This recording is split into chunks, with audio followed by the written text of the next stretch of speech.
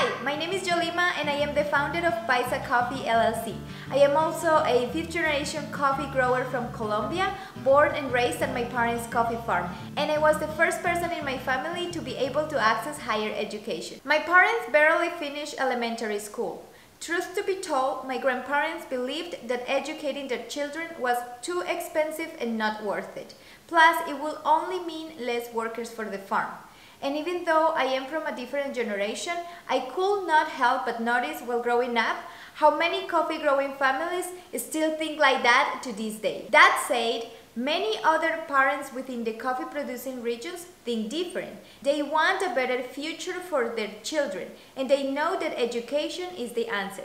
However, they don't really believe coffee can offer a better future. So education is seen as a way to get away from the coffee farms and closer to a better life. When I finished college, a whole world of opportunities opened up to me. And one of those was to be able to come to the US where I learned most of what I know today about specialty coffee. At the farm, I learned how to grow and process the cherries, but I never thought there were opportunities in coffee beyond that until I went to school and got educated. There I met people with bigger ideas than mine that literally showed me everything was possible. That's how I understood there was a way for me to stay in coffee and help my family without having to stay and work at the farm. Today, I am representing a group of coffee farms and producing families in Colombia. Through my business, I am able to connect them to the international market, help them get access to better prices and better opportunities.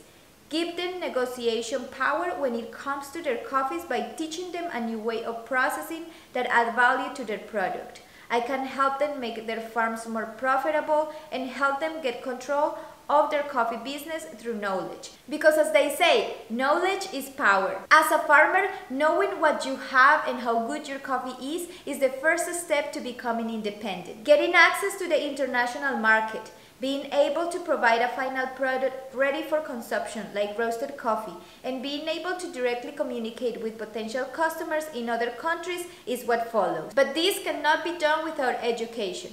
Just being able to speak the same language than their customers will open up so many doors.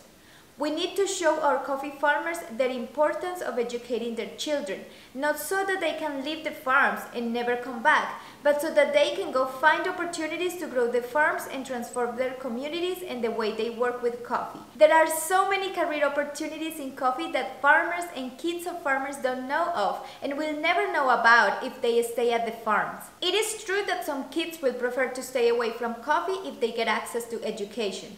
But as a children of coffee farmers, I can assure you that many others will prefer to find a way to stay close to coffee if they knew that was an option, only not as a farmer, and that is fine.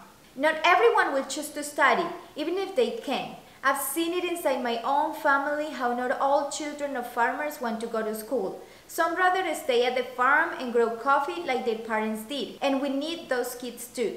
But in order for them to stay at the beginning of the coffee supply chain, their farms need to be profitable. And this can be done if they learn how to process coffees with special characteristics, if they learn how to taste and cup their coffees for quality, and if they are aware that there is a market for those coffees and that there is no reason why they cannot access it. While they grow amazing coffees at the farms, other children of coffee farmers that did choose to go to school and that had the opportunity to do so can be opening doors for those coffees making connections, roasting if possible, bringing roasters to the farms like doing coffee tourism, and working with the producers so that we can make a more transparent coffee chain, where communication flows and everyone is compensated fairly. It is no secret that many coffee farmers are growing coffee because they see no other option. I think through higher education and also coffee education at the farm level, coffee producers can get access to better prices and have higher quality of life